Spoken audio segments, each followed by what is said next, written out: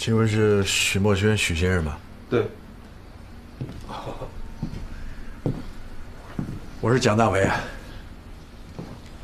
哦，听说你受伤了，特别过来看看你。您请坐。许先生真是一表人才啊，呃，这浑身散发出这种年轻人的艺术气息。过奖。哎，你这个手伤的要紧吗？能不能完全恢复啊？应该没问题。如果我加紧锻炼的话，我唯一担心的就是影响我的画画。哦，那也就是说，如果以后好的话，那不一定能画得出比以前更好的画了。可能吧。那真是可惜啊。徐先生，呃，我也认识一些这个书画界的朋友啊。对他们来说，他们最大的愿望呢，就是能够在全国甚至世界各地开上自己的巡回画展，让自己的作品呢能够成为各大艺术中心的收藏品。这我不知道，许生有没有如此的梦想？我当然有，啊，但是我现在想的比较现实一些。想找一份稳定的工作，能够维持生计，然后尽快恢复我的手。不不不不，你可以不用那么辛苦。如果你愿意，我可以帮助你实现这个梦想。我可以先在全国各地，甚至世界各地，帮你举办你个人画展，然后出版画册。我再经过媒体的炒作包装，在很短的时间之内呢，帮你打造成一名知名的画家。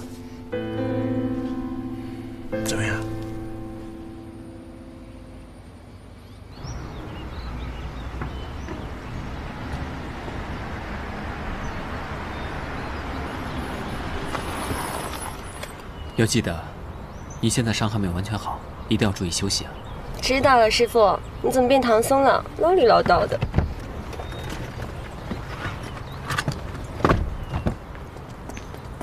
等等。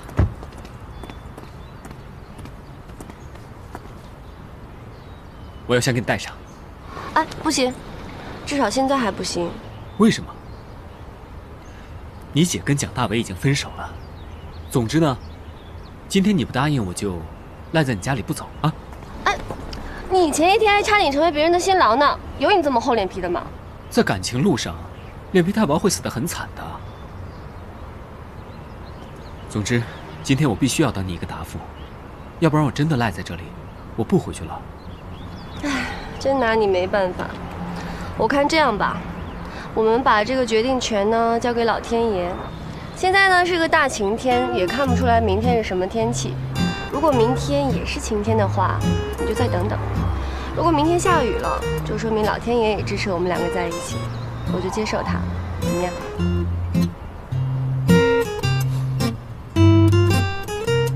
好，那就一切交给老天爷决定。嗯拜拜。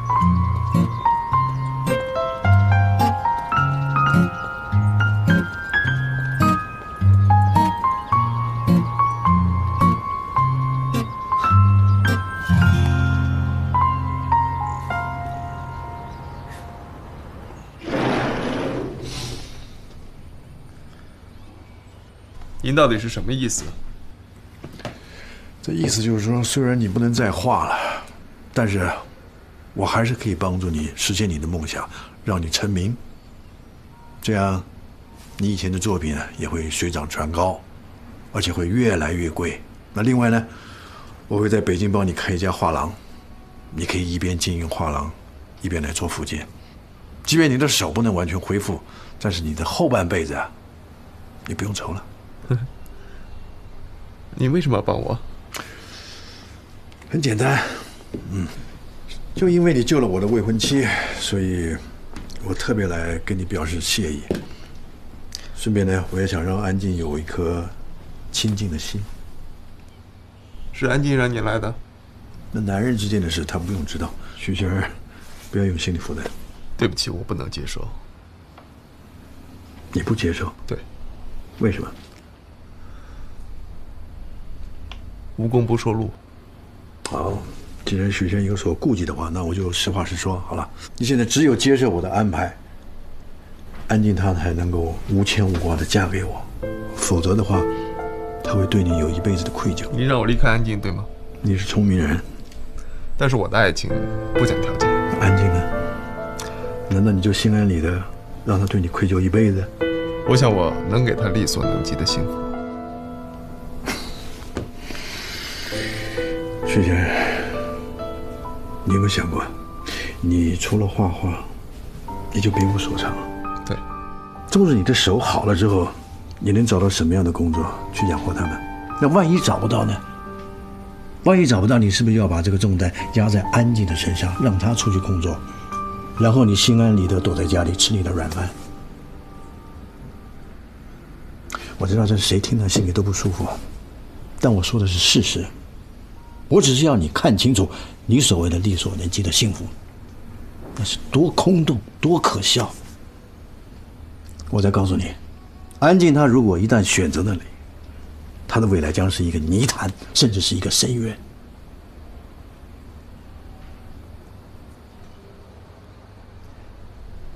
家财万贯是您指的唯一的幸福吗？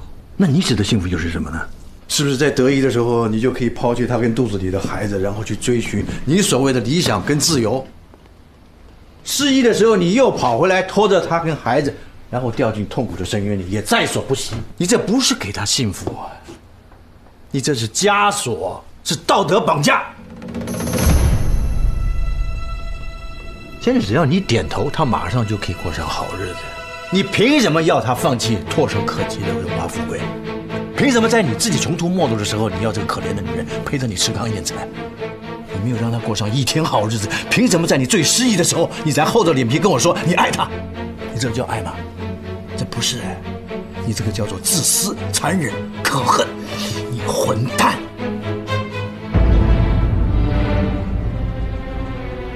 我说错了吗？你说的对。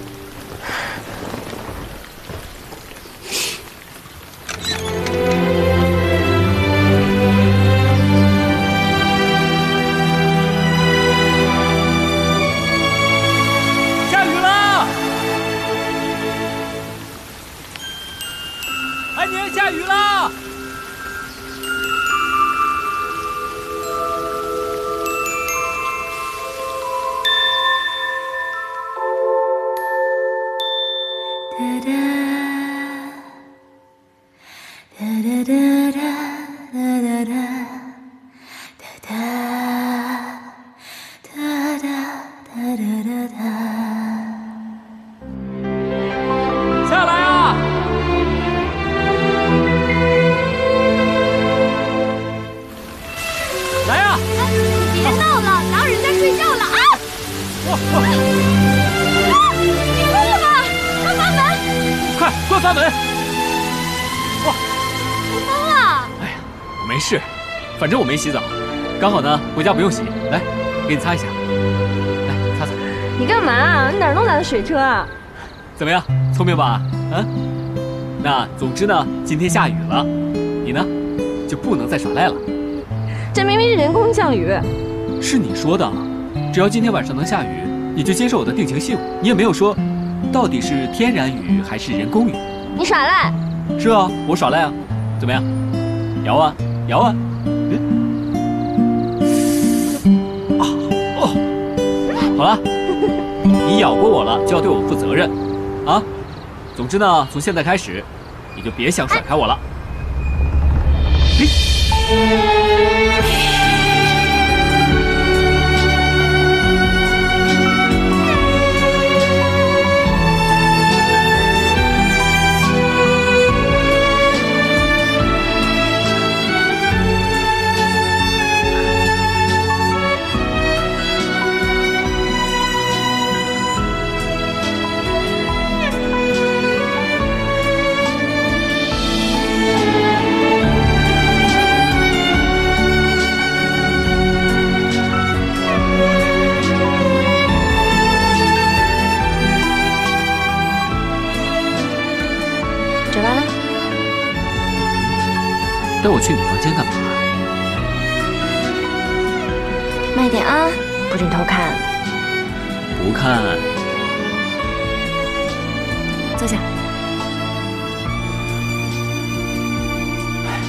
以睁眼了吗？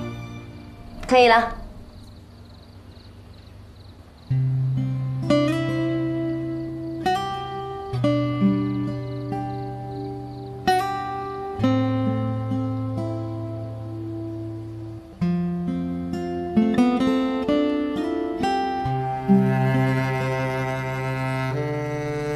你跟杨家结婚的那天，我在墙上写下这些名字的时候，根本就没有想过有一天会展示给你看，因为这每一个名字都是我实实在在的痛。但是我现在看着他们，就像是一个个漂亮的音符，在我心头划过。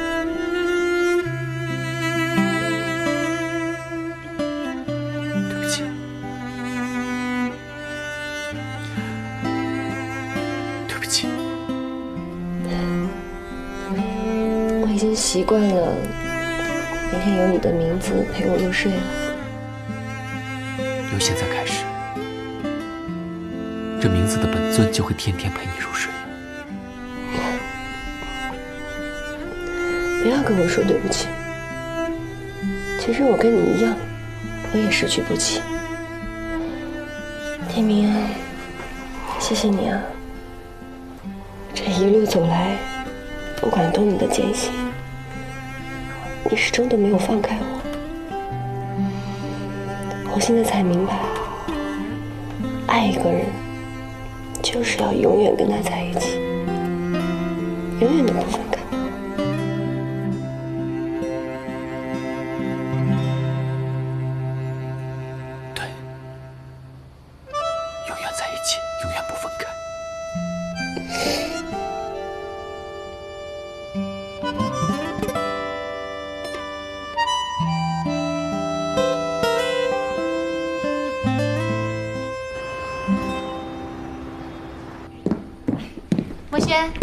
看看我今天做了什么？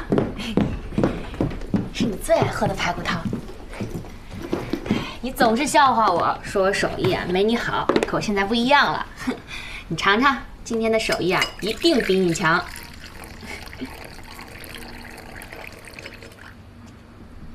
你以后不用再来找我了，安静。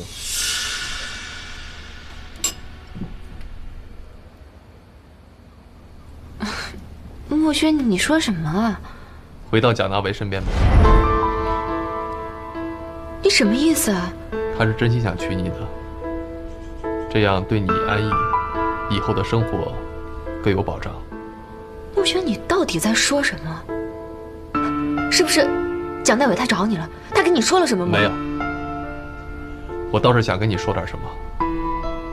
你记不记得我曾经跟你说过一个愿意给我投资的法国画廊，记得吗？我记得你说过，是因为我拒绝了他们。我忘了告诉你，那个画廊的老板是一个单身的法国女人。你明白我什么意思吗？她叫卡特琳娜。虽然我当时拒绝了她，但是她一直没有忘记我。虽然我现在也不能画画了，但是她告诉我，我以前的作品她依然看好。我现在变成这样，他也没有嫌弃我。他说要到中国来找我，然后带我回法国，接受最好的治疗，然后在巴黎给我开画展。所以，我想我得离开了。墨轩，你骗我是不是？你这肯定是骗我！你你告诉我，这到底是发生了什么事儿？我没有骗你，我为什么要骗你？我跟原来一样没有变，还是那么自私、冷漠。所以你走吧，我不想让卡特琳娜看见你，这样你和蒋大为，我和他，这样的结果对你我和安逸都好。我真没想到，你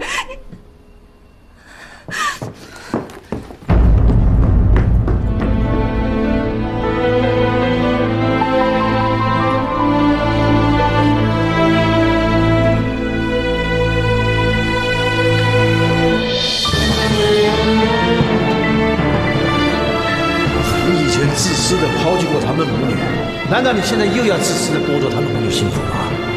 你别说了，我希望安静能过得好。我答应你，我离开他，成全你。不过我的未来由我来做主，不需要你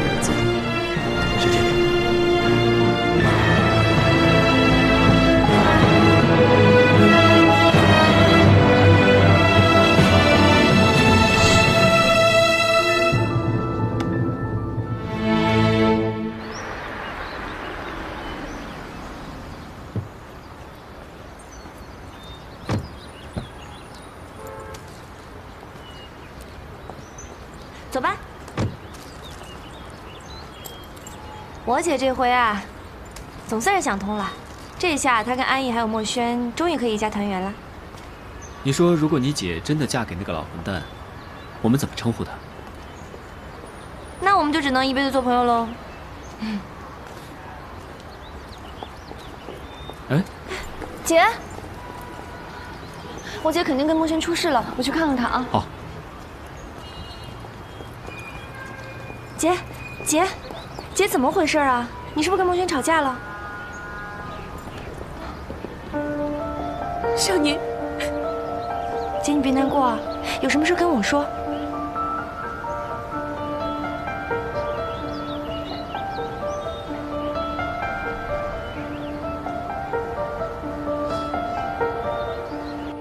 我没听错吧？安静愿意放下一切跟你过一辈子。你说你要放弃，蒋大为说的对，如果爱他，就应该给他幸福。幸福是什么？有钱就是幸福？这事儿你先别告诉安静，我不想打扰她。等我病好了，我会出院，然后换一个城市生活。对不起，墨轩，我帮不了你这个忙。你凭什么认为安静跟着蒋大伟就会比跟着你幸福？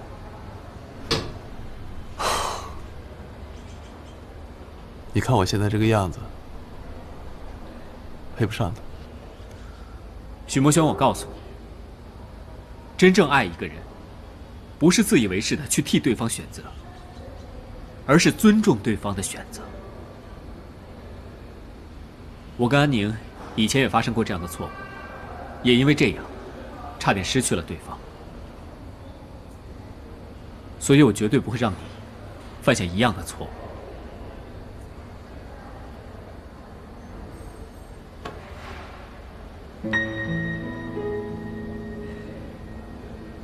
伟这个老混蛋，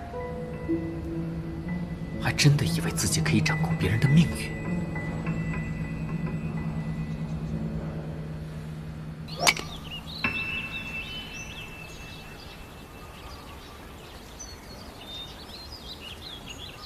到你了，发什么呆？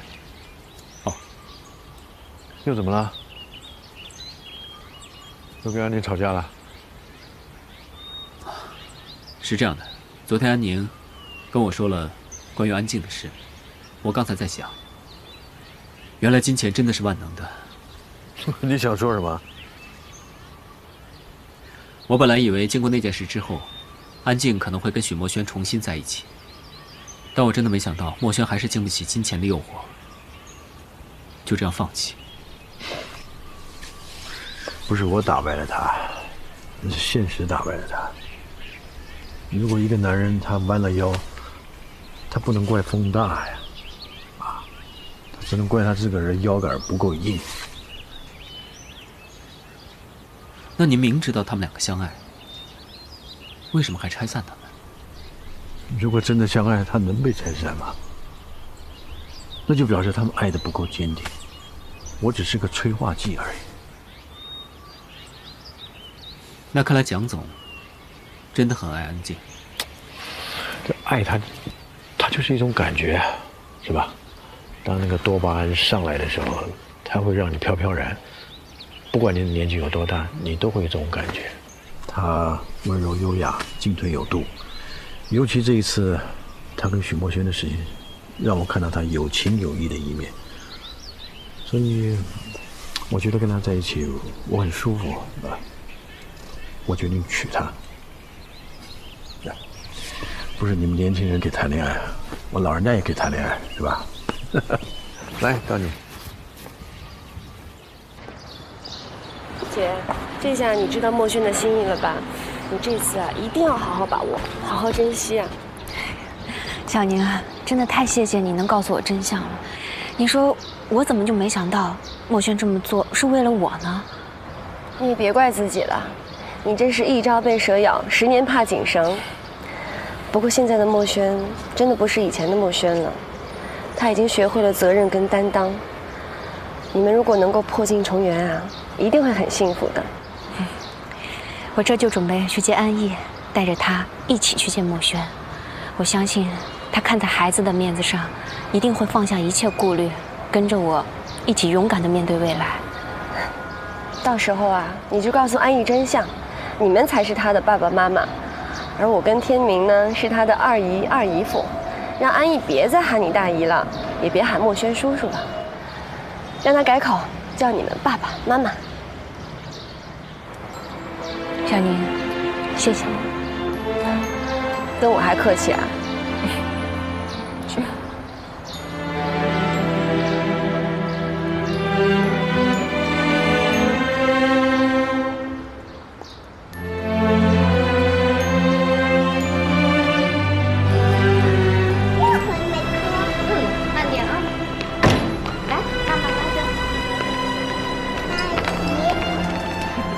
宝贝，你怎么又忘了？安妮妈妈不是跟你说过了吗？她是你的二姨，我才是你的妈妈。以后啊，要叫我妈妈，知道了吗？好了，那我以后叫你妈妈，叫阿姨，你妈妈，你们都是我的妈妈，好不好？宝贝真乖，来，嗯。那等一下见到墨轩叔叔，可不能再喊他叔叔了，要叫他爸爸，记住了吗？记住了，可是见了我以前的爸爸，我不想叫他姨夫，我想叫他明爸爸，可以吗？嗯，可以，你喜欢怎么叫就怎么叫。嗯嗯，妈妈，那我们快点一起去看爸爸吧。好，走吧。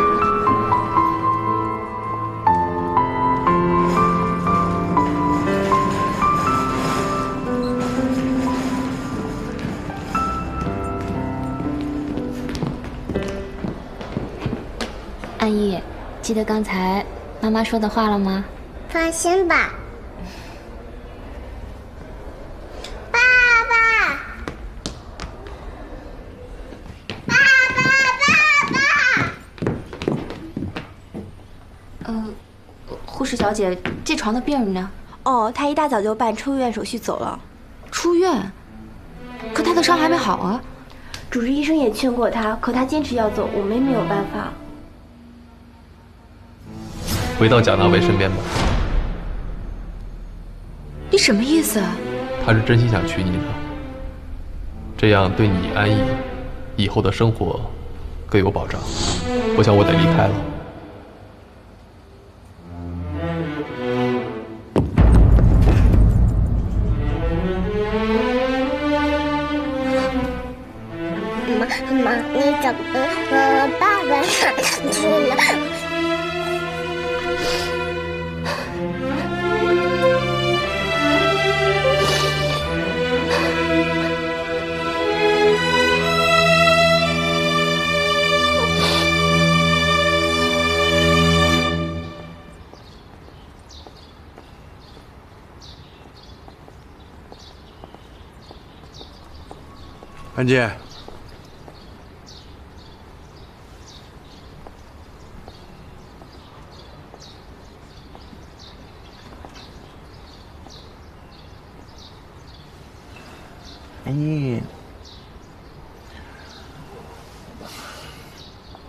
给你看样东西。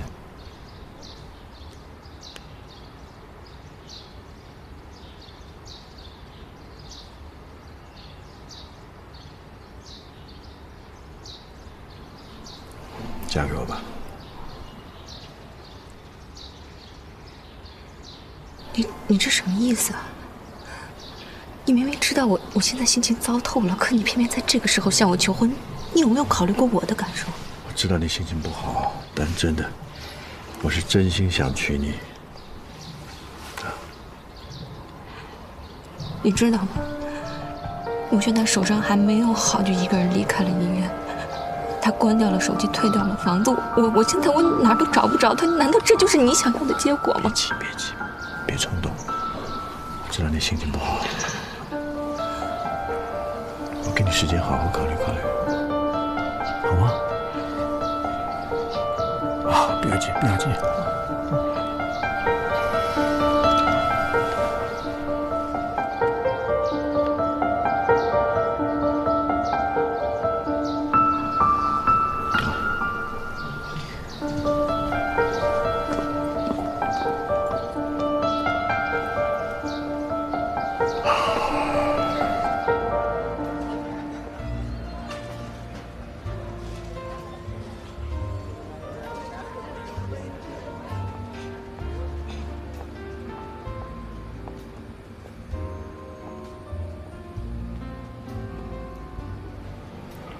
屋里还戴墨镜，你该不是会担心被张丽媛发现吧？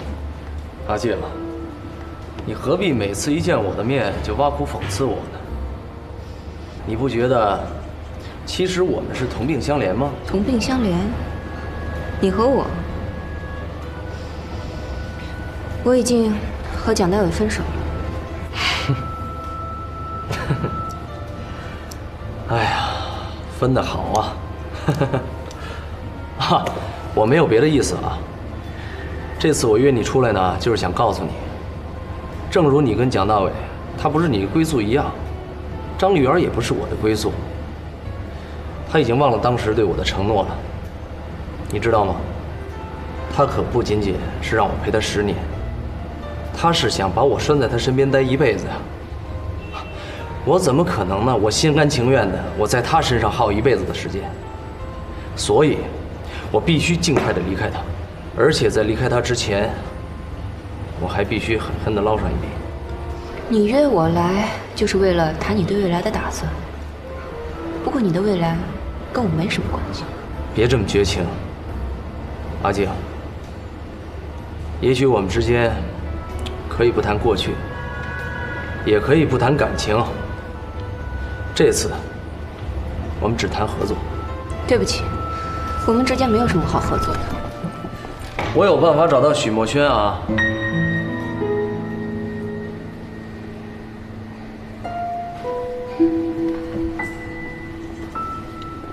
阿静，冷静一下，你先听我把话说完嘛。我的意思是啊，我们共同的想办法挣一大笔钱，这样呢，你就可以帮许墨轩办一个画展，或者是开一间画廊，当然这都随你。这样就可以振作许墨轩的精神呀。而我这头呢，也可以尽早的摆脱张丽媛，你说是不是？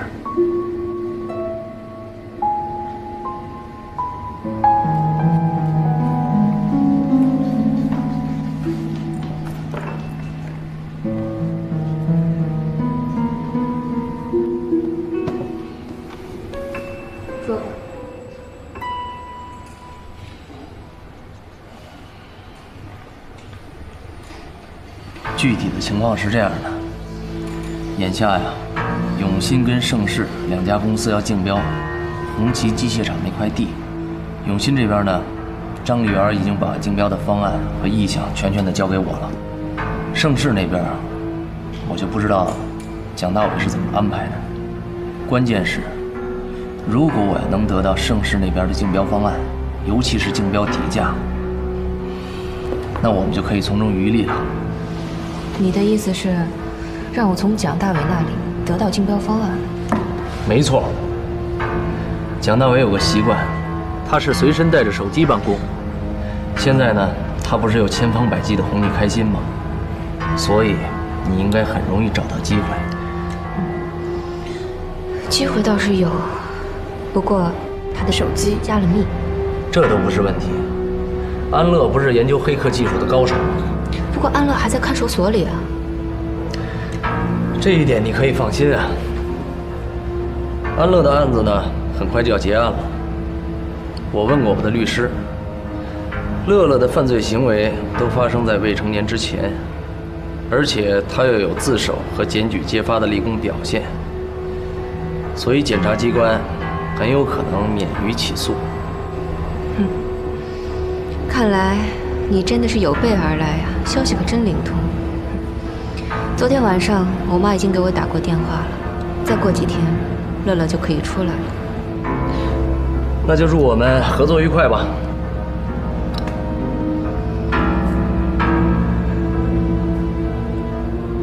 握个手嘛。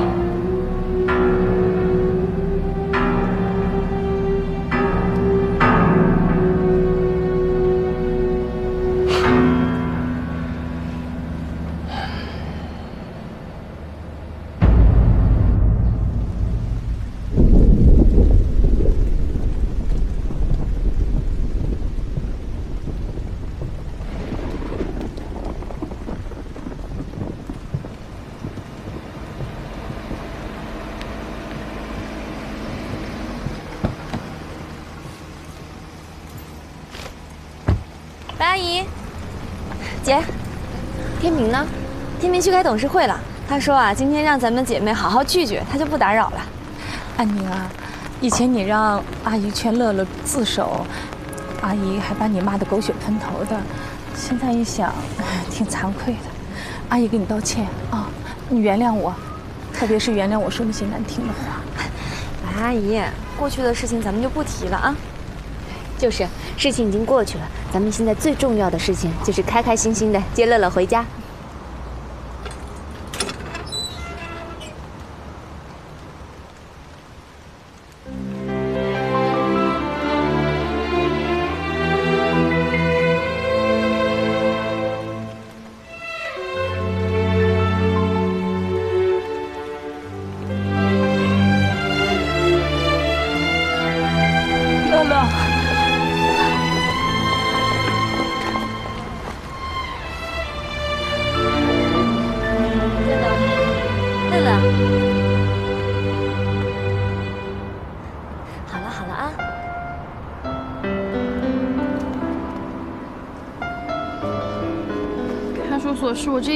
不想再进去的地方，为了这个，我以后再也不犯迷糊。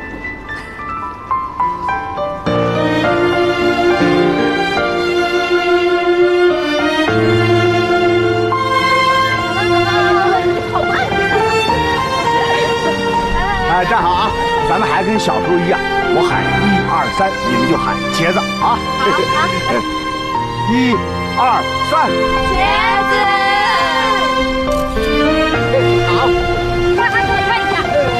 呀，这么多年了，我们三姐妹还是第一次照相呢。嗯，你看你笑的多傻！哎呀，我太糗了。爸妈，我给你们也照一张。哎，妈，来照一张吧。照不照？跟你爸都离婚那么多年了，这照相是怎么回事啊？对，嗯，你妈说的对，这这是你们三姐妹的树，呃我跟你妈照着怎么怎么回事儿啊？这那这样吧，就算你们离婚了，可你们还是我爸妈，我们一家三口照一张总可以吧？哎，爸，乐乐说的有道理，你就跟白阿姨照一张吗？照不照？真的不照？是啊，你就跟妈照一张吧。哎呀妈，照一张吧！来来来来，快走，快走！照，有什么不好意思的呀？就是啊，快来，看这啊，站近一点儿。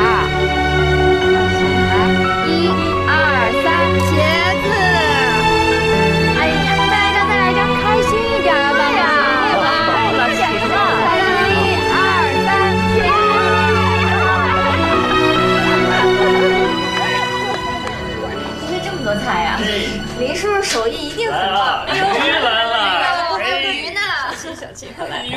哎呀，来，咱们为乐乐的新生干一杯！来，好干杯，说，干杯，干杯，干干杯这么多年了，我们还是第一次吃团圆饭呢。快吃菜，吃菜。快尝尝尝尝这手艺怎么样？来来来，快！林叔叔，您吃菜。你你看，这这么长时间了，这乐乐还是第一次叫我林叔叔哈，我这心里边，好，我这吃菜吃菜吃菜。以前是我不懂事，林叔叔，我敬你一杯。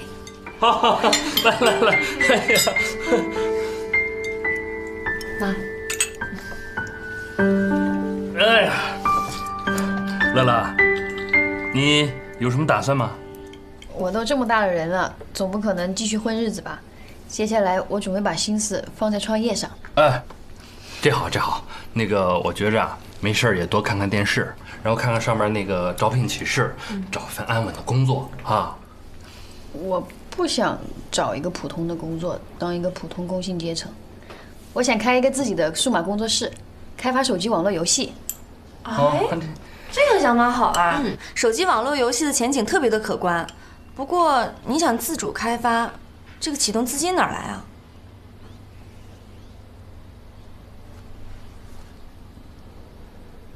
啊？乐乐，你看我跟你妈呀都是老脑筋，这跟不上时代。这几年做生意呢也是只赔不赚，除了留了留下一点这个养老的钱，实在是没钱给你投资做这个工作室了。我这也是心有余而力不足啊。哎呦，我又没有想让你们出，大姐答应过我的，说要给我开个工作室。哎乐乐，不是大姐不想帮你，可是我已经和蒋大伟分手了，我的情况你也是知道的。哎，乐乐，我看好你在电脑方面的天分，也相信你一定会做出一番成绩的。我觉得你这个工作室呢，一开始也不用投太多，要不这样，我那儿啊还有我妈当年留给我的拆迁款，一共十五万，我做你股东怎么样？我把这笔钱投给你做启动资金，十五万，足够了。二姐，谢谢你。不用谢我，我不仅要做你的股东啊，我还要做你的顾问，还有策划，这样有人跟人帮你，还能稳妥一点。大姐，二姐，不如咱们三个一起干吧？你们快帮我想想，这个工作室叫什么名字？嗯不如就叫乐乐数码工作室吧。嗯，就不好听，太幼稚了，换一个。还嫌幼稚？哎，要不这么着吧，既然啊你已经告别了过去的生活，开始了新的生活，不如就叫做新生数码工作室怎么样？新生数码工作室，这个好，我喜欢这个。好，就这么定了。咱们为这个新生数码工作室啊，再干一杯！来，干杯！哎，林叔叔买一个，大声大声，来，给你买一个，少喝点，少喝点。来，干杯！来来来来，新生的新生数码工作室啊！来，慢点啊！哎哎，小心点，哎，慢点慢点，小心点啊！注意安全，小心点啊！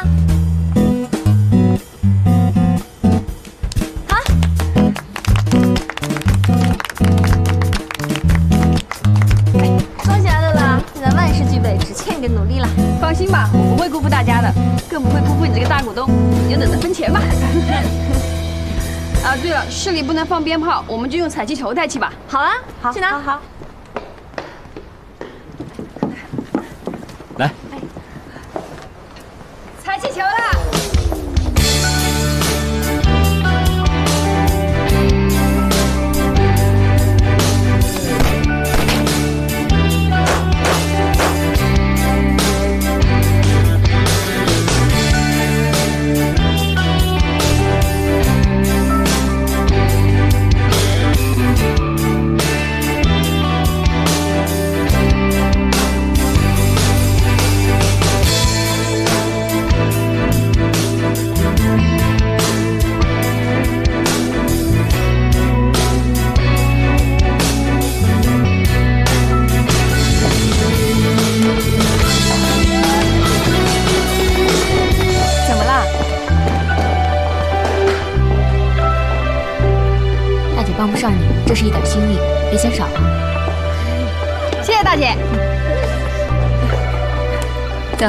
出去跟他们玩吧。